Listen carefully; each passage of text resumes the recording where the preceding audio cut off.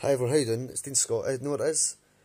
I was going to buy uh, a PS4 and FIFA and Black Ops 2, uh, Black Ops 4 and Call, Call of Duty Modern Warfare off uh, Amazon, right? Which would have cost in total about £400 or 350 or something. But my dad's gave me an offer of getting his PS4 because he's, he's getting a new Xbox One in next month.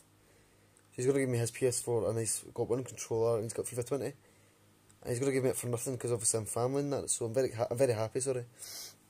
Um, what's going to say?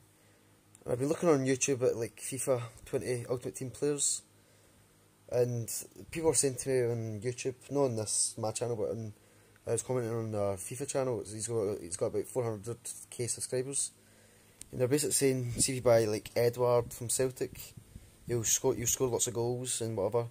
If you buy who else? Um, there's lots of players like Morata from Chelsea, or he's not he doesn't play with Chelsea anymore.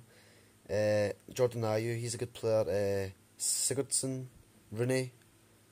He was just by like basic players like Cahill from Crystal Palace. John Terry, I don't know if he still plays anymore. But players like that, you know what I mean? Um, experienced players, as I say. Um, try and get a, try and get some players from like France, Nigeria, like mix.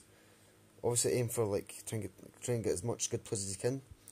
But basically, that's what I'm going to say. But I'm very happy that my dad's actually offered a PS4 and FIFA 20 and one controller, but I need to buy another controller so me and Jennifer can play Call of Duty together or something. I mean, I'm very happy, so excited. Going to get a taxi to Strathaven in an hour's time, then get the bus to Hamilton, and then get the train from Hamilton Central to Newton Central. But I'm very happy. Um, I'm very excited to start playing FIFA, and I'll be buying Minecraft as well and whatever. I mean, so I'm very excited about the future. So it saves me buying one for Sophie's Christmas, but I'm going to get Sophie an Xbox One for a room, an Xbox One with Minecraft or something or whatever. Uh, so she'll be happy with that. Thanks so much for watching and take care and please like and subscribe. You'll see more content. Take care. Thank you. Bye bye.